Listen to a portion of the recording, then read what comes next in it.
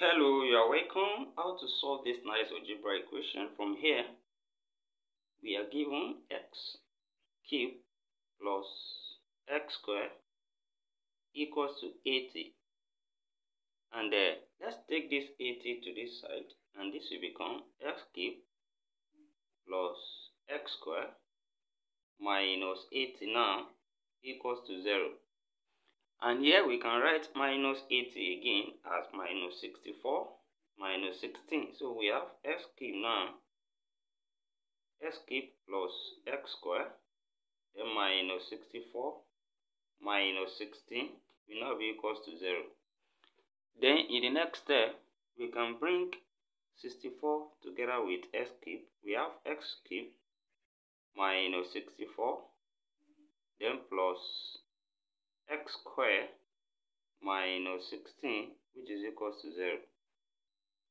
Then from here, let's express 64 to power of failure as well. So we have x raised to power 3 minus 4 raised to power 3 will give us 64. 4 times 4 times 4. Then plus here as well we have x squared. Then minus we can express 16 as 4 squared. 4 times 4 is 16 which is equal to 0. Then we can separate it like this. We group this together. Then from here we have difference of two cube from the identity a cube minus b cube. This will give us a minus b multiplied by a square plus ab plus b square. This follow this pattern here. Then also we have difference of two square. We have a square minus b square. This is a plus b. Then multiply by a minus b. So when we apply this here, this particular equation can now be written as this first bracket become x minus 4 then multiply by x square plus 4x plus 4 square. Then the second bracket, that's plus now. Difference of 2 square, that's x plus 4. Multiply by x minus 4, which will now be equals to 0. Then from here, we have x minus 4 common. Let's take it out. We have x minus 4 then what is left in this first side? We have x squared plus 4x plus 4 squared, that's plus 16. Then on this side, we have taken x minus 4 out, we are left with x plus 4. Then which is equals to 0.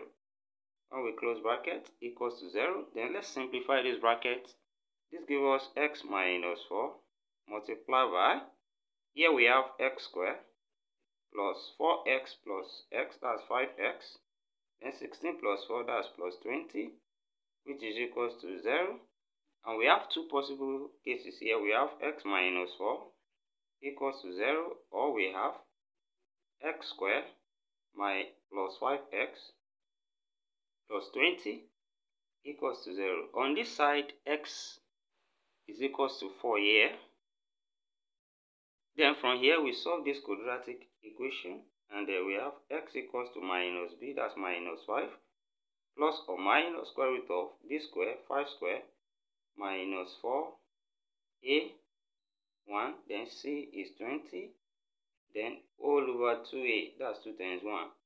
Then when we simplify, we have x equals to minus 5, plus or minus square root of 5 square, we have 25, then minus 4 times 20, that's 80.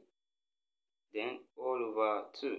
And 25 minus 80 will give us minus 55. We have x equals to minus 5 plus or minus square root of minus 55 over 2. And square root of minus 55, same thing as square root of 55, then square root of minus 1. And square root of minus 1 is. Then when we put this here, so we have x now will be equals to minus 5 plus or minus square root of 55i over 2. Then from here, we can write our answer, final answers, and we have x1, the first one equals to 4.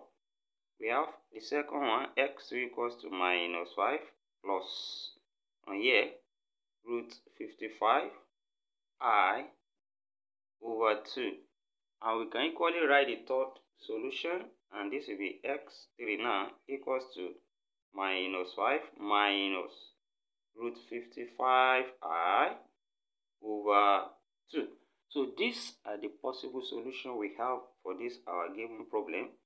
Thank you for watching. Please share this video. Subscribe to my channel. Give a thumbs up. If you have any comment put it in the comment section. See you in the next class and bye for now